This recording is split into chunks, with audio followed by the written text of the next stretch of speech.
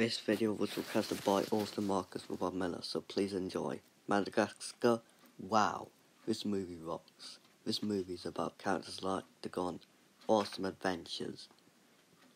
Alex is so awesome. Marty, Marty is so good. And Melman is so nice. And I also don't know what to say about the other characters, but I'm just gonna leave it be. The animation is good, the stories are good, the music is great, and the characters look cool. Even had a sequel called, even had three sequels called Madagascar Escape to Africa and Madagascar 3 Europe's Most Wanted.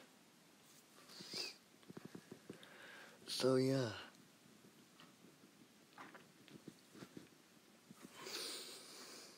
And yeah, this movie is way better than Winnie the Pooh Blood and Honey because Winnie the Pooh Blood and Honey sucks. And yeah.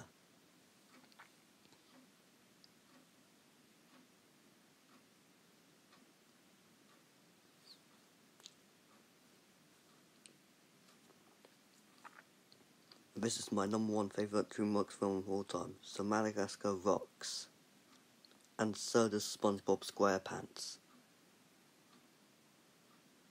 The world sucks big time. End of salute.